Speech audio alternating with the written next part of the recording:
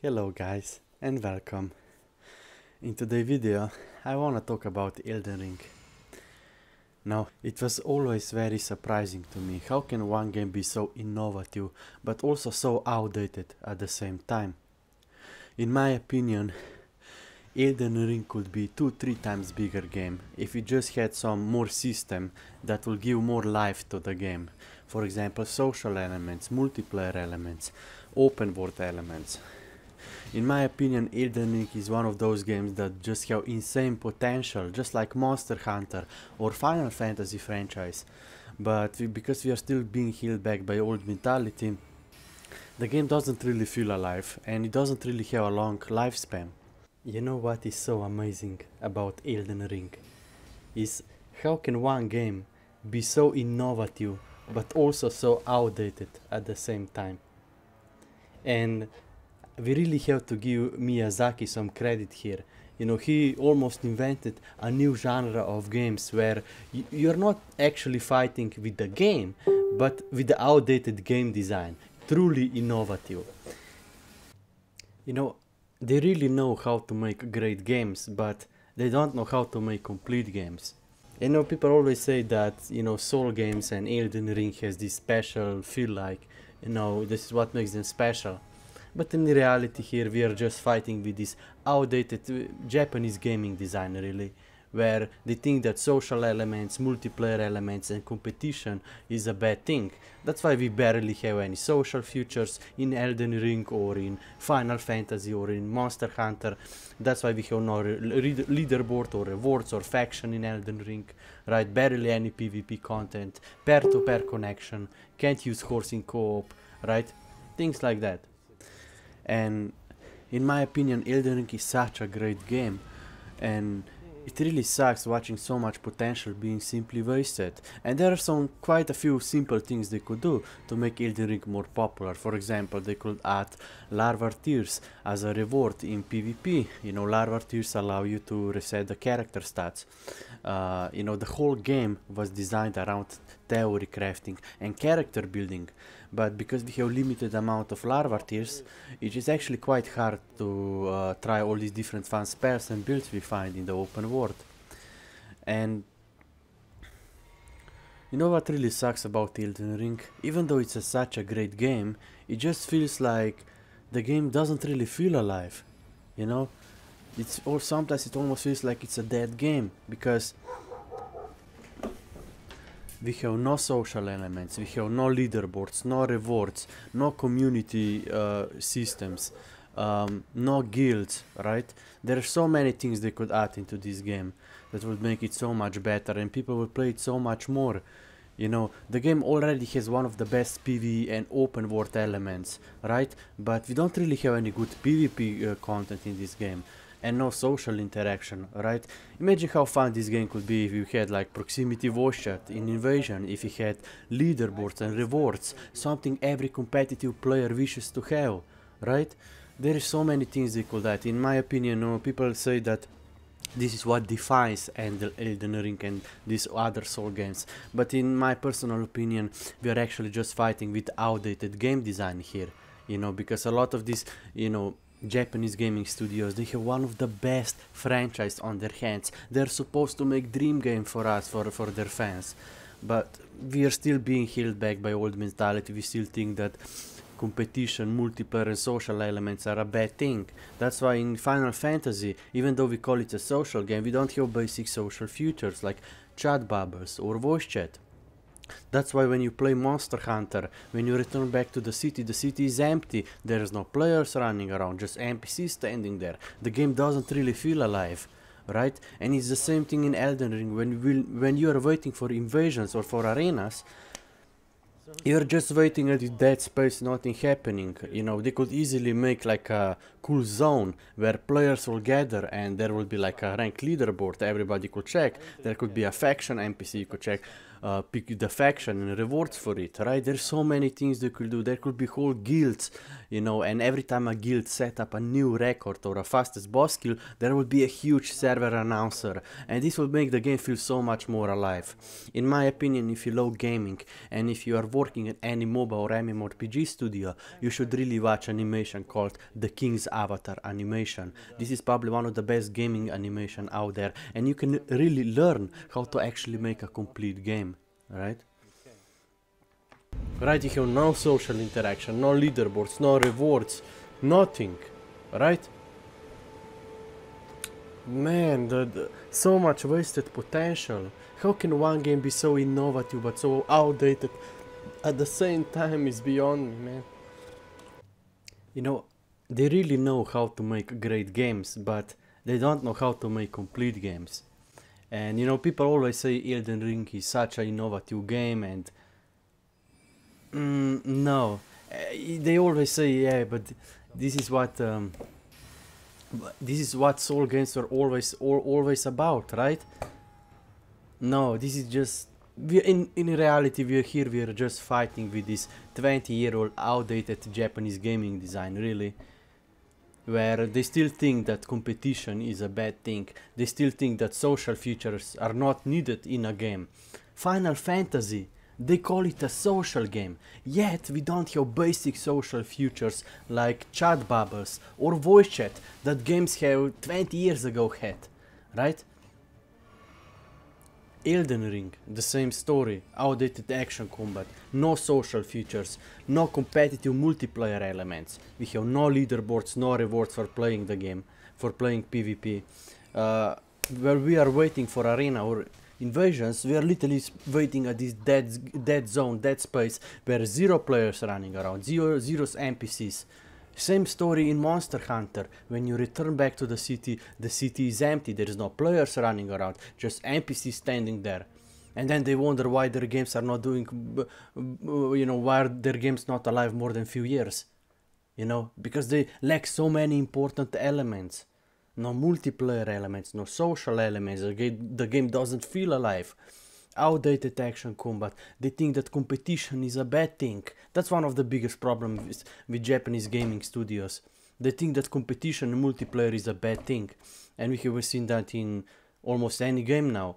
That's why Final Fantasy has no social interaction. That's why Monster Hunter doesn't feel alive. You can't even tame monsters. That's why Elden Ring has no social features, no leaderboard, no rewards, no guilds, nothing. Not even a you know a multiplayer hub or anything like that. Like in my in my opinion this is not really a good experience. Right just waiting in these dead zones uh, you alone. Why not have a multiplayer hub where multiple people could gather up and you could actually pick a faction and rewards and you could have a leaderboard? And every time you win in invasion or in uh, arena you could get like a larval tear as a reward. Right this is the things that i think elden ring is so desperately missing and yeah, we need few more levels so we can actually uh, equip better pants, you know. Even though I have great jar arsenal and in air, air 3 favor, which both give you equipment load, I still don't have enough to equip a good set, but I'm almost there, you know. We just need a few more points. And our HP is almost, look at our HP, almost 60 now, right? Few points into arcane would be also good so we get more loot, you know. But we are like max intelligence and almost max, you know. We have some, some in strength, dexterity, so we can equip some weapons. Now I'm trying to level up HP, might, endurance. There's like two more levels into endurance and we should be good. And then more HP, maybe more might, more mana. You need a lot of stats, you know. I'm still not sure if I should buy the new expansion, you know? Like... You know why? Because they don't... The Miyazaki don't cater to the community enough. Like, we don't have basic rank leaderboards, we don't have any rewards for... Any, any, any actual rewards for doing PvP, we have no factions. In my opinion, this game could get so much more replayability and life lifespan if we would just have some a few more features like larva and tears as a reward for PvP, like a leaderboard everybody could check up, so to see who's the best in arena in invasions. That would be so huge, and then you reward top 10 players, top 20 players with maybe a cool cosmetic, cool rewards. This is the problem with it. It's, uh, in my opinion, Elden Ring is such a great game, but it's just missing something more to have to give a few more years, to give more life to the game, more community driven, you know. This is what I think Elden Ring is missing. Elden Ring can still stay primary a single player game, that's totally okay, but why not give basic multiplayer features, basic social features, it's something that people have been craving, right?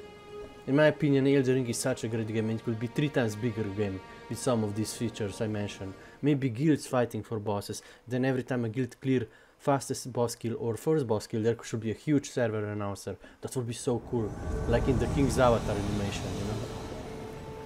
So let's see.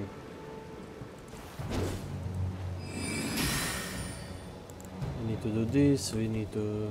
Kinda, it's kinda lame how to change um, stuff you cannot uh, um, cast inc incantations with staff.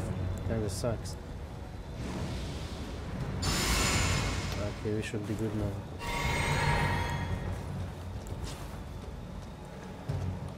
It just kinda sucks that I have to wait in this dead zone. Like, I would rather, you know, there should be like a multiplayer space.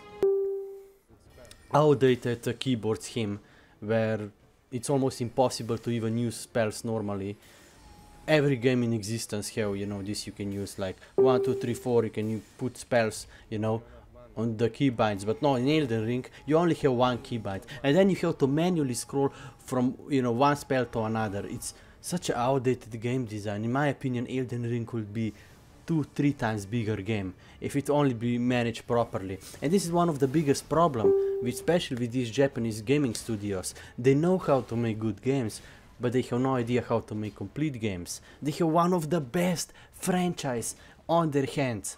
Final Fantasy, Monster Hunter, Elden Ring, Soul series. But they are doing nothing with it because they don't know how to make complete games. Right? And that's one of the biggest problem with their games. That's the reason why their games usually don't last more than few years, even though they put so much effort into their games because they don't know how to make complete games. Their games lack so many important social elements, multiplayer elements, open world elements. In my opinion, uh, if you really care about gaming, if you really, if you're working in any MMORPG or MOBA gaming studio, you should really watch animation called The King's Avatar animation, which is one of the best gaming animation out there, and you can really learn how to make a complete game with social features, with you know chat bubbles. You know why are we still calling um, Final Fantasy a social game where we don't even have basic social features? We don't have any uh, chat bubbles. We have no um, voice chat, nothing, right? That's why a lot of these games haven't seen innovation in 20 years. These guys, these guys are supposed to make dream game for us. This is what we fans deserve. We've been waiting for 10, 20 years for these Japanese gaming studios to make us, a, you know, a good Final Fantasy game, a good uh, Monster Hunter game where you could, you know, city full of people, taming monster, uh, social interaction in Final Fantasy, chat bubbles. The game has nothing, right? They don't really, these these guys don't really care about us anymore. Apparently, it's really sad. Like, and Elden Ring is a typical example. We talk about so many things, peer-to-peer -pair connection, uh, out, outdated uh, keybinds, outdated uh, spell system, outdated this, outdated that, no leaderboard, no rewards, no guilds, nothing, right? And did they address any of those issues? No, of course they didn't. They just want us to spend 50, 50, 50, 50 60 more bucks bucks on this expansion because they know Americans are gonna pay for it because they are born consumers. This is what they live for, you know. They have no standards, no gaming experience really. And this is what we get you know? It's like it's kind of fun you know? I get a lot of comments here on Facebook. Maidenless post. More endurance so we can actually survive. Few hits you know it kinda sucks I don't have enough uh, potions in Invasion. Like, it really does. We really need more mind or something, because we, I'm, uh, I immediately ran out of mana, you know? but hey. Maybe once we got enough endurance we can remove Grey you know, and... But who knows.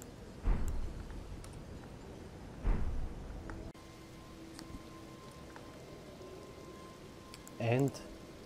And we have just enough faith so we can actually cast the Black Flame Protection and Golden Vow. Which gives you a lot of protection and bonus damage, which is really good for invasions, you know. But did you see guy, that guy? He, he just like tanked through my attacks. Maybe he had endurance, you know.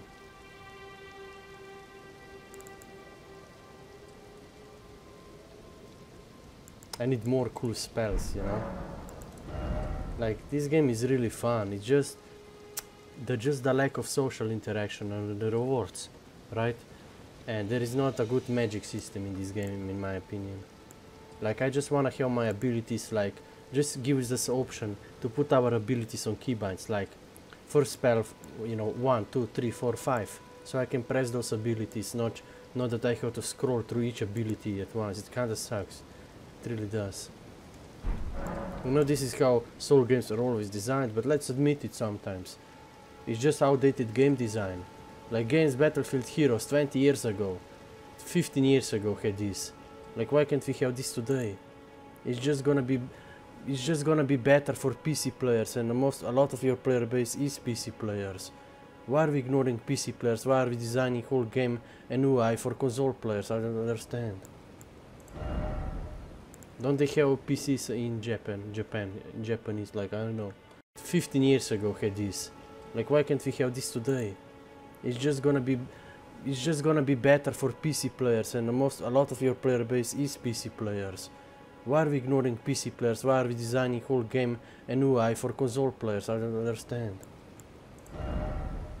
Don't they have PCs in Japan? Japan, Japanese, like I don't know.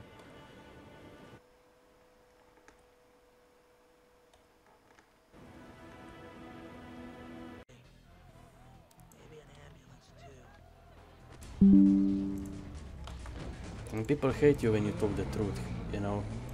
I know I don't want to be too intrusive, you know, intru you know, I don't want to change how everything is, but somebody has to talk about this, you know. Stop justifying outdated game design, stop justifying these big capitalism companies that they're just surround themselves with yes, yes, sayers, you know in, in reality a lot of these capitalism companies and this is slowly destroying everything we are passionate about. Games esports sports content creation social media everything is being destroyed by capitalism and ai right? I mean i can show you right now like you guys think i'm full of it. Okay let's go palworld. Let's go palworld. You know let's let's check palworld you see. Let's check this guy Let's check, you know, some popular video, 3 million views in 4 months. Let's see what's so, what's so special about this video. After capturing the lamb. Let's see what's so special about this video. Let's open some of these comments who have thousands of thousands of upvotes. And let's see what's going on. Only few year old account, you see.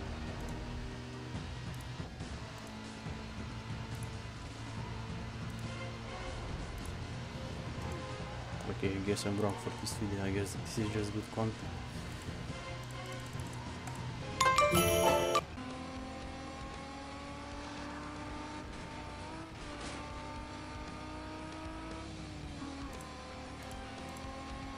You see only few year old account. Only one year old account. One year old account, you see? This is how you get popular on YouTube. It's not about having a good opinion, it's not about having good content, it's just about how many people you can manipulate, how many how much algorithm you can manipulate. If we if we put two guys together that make identical content and one uses both like a promotional accounts to manipulate viewers and algorithm and other doesn't, the first guy gets three times more viewers. You see, simply outdated uh, YouTube algorithm really. They didn't take into consideration AI and promotional accounts. They should make it so that only one PC can only have one account.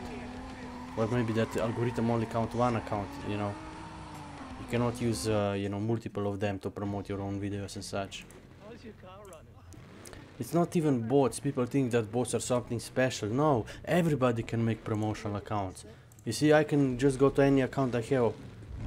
I usually just use one or two, so you know I can heart it and get more CO score. That's it. But there are guys like Mr. Beast who have 90% of their comments are fucking bots. 90%. They made like 20,000 comments with their bots. So they manipulate algorithm and viewers. And then because of them, we small content creators, we barely get any views. And that's a fact. Anybody that has been on YouTube for more than, you know, 3, 4, 5 years knows that at this point. I know, and what really pisses me off that we small gamers we, who actually are passionate about things, we who actually criticize, we just get ignored. But then those big YouTubers, content creators who use countless of manipulative bots, promotional accounts like, you know, Kai Cenat or, how, or Dr. Disrespect, right? These guys get thousands of views. And they don't even criticize the game, they do nothing. You know, their content is not even that amazing, but because they use manipulative bots, right? And this is what we get. These guys don't even need to innovate anymore because they can use just, you know, they can use uh, promotional accounts, they can use bots all over social media to manipulate their viewers and algorithm, you know. It's disappointing, it really is, like...